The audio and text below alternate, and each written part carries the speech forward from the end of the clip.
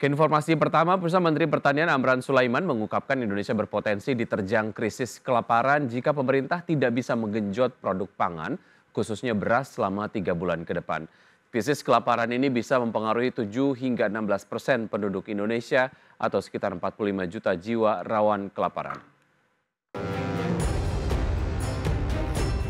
Pemerintah mewaspadai ancaman musim kemarau yang sedang melanda sejumlah daerah. Bahkan Menteri Pertanian Amran Sulaiman mengungkapkan, Indonesia berpotensi diterjang krisis kelaparan jika pemerintah tidak bisa mengenjot produk pangan, khususnya beras selama tiga bulan ke depan yakni bulan Juli, Agustus, dan September.